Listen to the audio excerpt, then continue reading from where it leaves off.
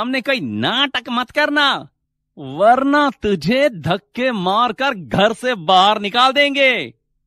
दूसरे दिन विशाल रीना को लेकर घर आता है। मंजू और सेठ पन्नालाल रीना को देखकर बहुत खुश होते हैं और उसका स्वागत करते हैं। अपने ही पति को किसी दूसरी औरत के साथ देखकर आरती मन ही मन रो पड़ती है। लेकिन वो कुछ नहीं कहती। रोते हुए वो अपने पिता सूरज के पास जाती है और उसे सारी बात बताती है। आरती बेटा तू सारी चिंता छोड़कर बस माता रानी की पूजा अर्चना में अपना ध्यान लगा। अब वही तेरी नैया पार लगाएँगी। जी पिताजी अब मुझे माता रानी पर ही भरोसा है। रीना के सामने घर के सभी सदस्य आरती की बहुत बेइज्जती करते थे। आरती रीना के लिए नींबू का शरबत बनाकर लाओ। और माँ ने गोंद के लड्डू बनाए हैं वो भी लेकर आना। डार्लिंग ये कौन है? ये हमारी नौकरानी है। काफ़ी साल से हमारे घर में काम कर रही है ना। इसलिए घर के सदस्य जैसी हो गई है। इसके पिताजी हमारे घर में नौकर हैं। विशाल की बात सुनकर आरती रसोई में जाकर ज़ोर ज़ोर से रोने लगती है। तभी वहाँ मंजू आ जाती है। तुझे कहा था कि रीना के सामने कोई नाटक मत करना। तू ऐसे नहीं मानेगी। तुझे इस घर से निकालकर बाहर फेंक देंगे तब तू मानेगी। आरती झट से अपने आँसू पोछती है और रीना के लिए शरबत और लड्डू लेकर विशाल के कमरे में जाती है। वहाँ विशाल बड़े प्यार से रीना के पेट को सहला रहा था। अपने ससुराल में आरती खून का घूंट पीकर रह रही थी और बस माता रानी का नाम लेती थी। कुछ दिनों बाद नवरात्रि का पावन त्योहार शुरू हो गया। आरती ने अपने सास ससुर से घर में नवरात्रि का अनुष्ठान करने की अनुमति मांगी। नहीं नहीं, रीना की गोद भराई की रस्म होनी है। एक घर में दो दो अनुष्ठान नहीं हो सकते। तुम कहीं और जाकर अपना ये नाटक करो। आरती के सास ससुर उसे घर में नवरात्रि की पूजा करने के लिए मना कर देते हैं। जिसके बाद आरती अपने पिता सूरज की झोपड़ी में नवरात्रि पूजा करने लगती है। आरती ने अपनी झोपड़ी में देवी दुर्गा की प्रतिमा की स्थापना की और व्रत उपवास करके पूरे विधि विधान से माता रानी की पूजा अर्चना की। जय अम्बे गौरी।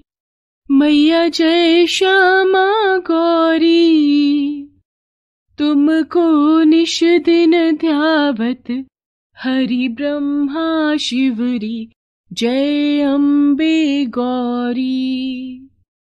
मांग सिंदूर विराजत टीको मृग मद को, मैया टीको मृग मद को।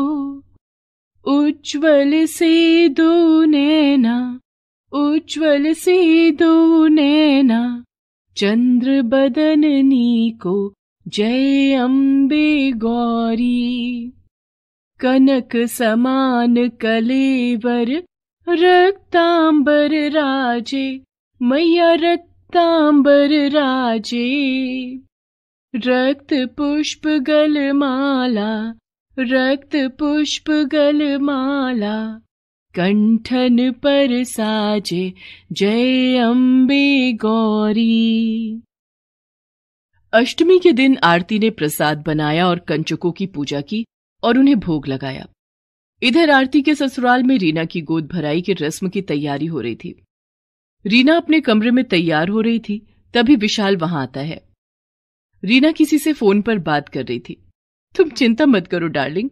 गोद भराई की रस्म में मुझे जितने गहने मिलेंगे, मैं वो सब लेकर तुम्हारे पास कल ही आ जाऊँगी। और मैंने तो यहाँ की तिजोरी की चाबियाँ भी हथिया ली हैं। विशाल के माता पिता ने पोते के आने की खुशी में तिजोरी की चाबी मुझे दे दी है। बहुत जल्द मैं सारे सामान के साथ तुम्हारी बाहों में रहूँगी। विशाल रीना की सारी बातें सुन लेता है। ये तुम किससे बात कर रही हो, रीना? विशाल को सामने देखकर रीना हड़बड़ा जाती है और उसके हाथ से फ़ोन छूट कर नीचे गिर जाता है। विशाल वो फ़ोन उठा लेता है। फ़ोन के उस तरफ़ से किसी दूसरे आदमी की आवाज़ आ रही थी। हेलो हेलो रीना क्या हुआ? तुम चुप क्यों हो गई? तुम कल आ रही हो ना? विशाल फ़ोन काट देता है और अपने पिता सेठ पन्ना लाल और माँ मंजू को सारी बात बताता है। हे भगवान हम बर्बाद होने से बच गए। उधर मंजू का अलग ही रोना था। हाय राम, लगता है इस घर में पोता कभी नहीं आएगा। माँ, किसी और के पाप को मैं अपना नाम तो नहीं दे सकता ना? रीना के पेट में किसी और का बच्चा है, मेरा नहीं। ये तो हमें लूटकर कल यहाँ से भागने वाली थी। अब गोद भराई के रस्म की सारी तैयारी हो चुकी है। अब हम क्या करेंगे? मालिक, आप गोद भराई की रस्म अपनी बहु आरती की कीजिए। आरती माँ बनने वाली है। क्या? हाँ मालिक। नवरात्रि पूजा के अंतिम दिन कंचकों को प्रसाद खिलाने के बाद आरती की तबीयत अचानक खराब हो गई। मैं वैद्य जी को बुला कर लाया। मैंने सोचा था शायद उपवास के कारण आरती की तबीयत बिगड़ गई होगी। लेकिन बधाई हो सूरज, तुम्हारी बेटी माँ बनने वाली है। आरती एक महीने के गर्भ से है। ये सब नवरात्रि पूजा और माता रानी की कृपा से हुआ है, मालिक। सूरज की बात सुनकर मंजू ने आरती को गले से लगा लिया। सभी ने आरती से अपने कुकर्मों की माफ़ी मांगी और आरती की गोद भराई की रस्म पूरी की गई। विशाल ने पुलिस बुलाकर रीना को हवालात भेज दिया और आठ महीने बाद माता रानी की कृपा से आरती ने एक सुंदर सी बेटी को जन्म दिया। बोलो माता रानी की जय शेरावाली की जय, पहाड़ा वाली की जय।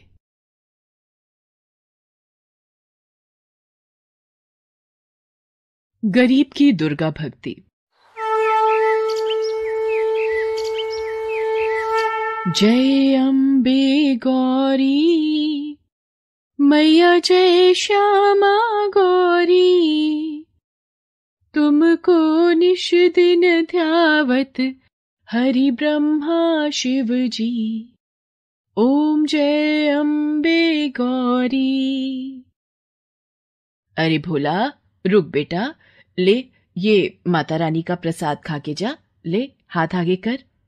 ओहो माँ पहले ही देर हो रही है लाओ जल्दी। जल्दी का काम शैतान का होता है बेटा आराम से जा।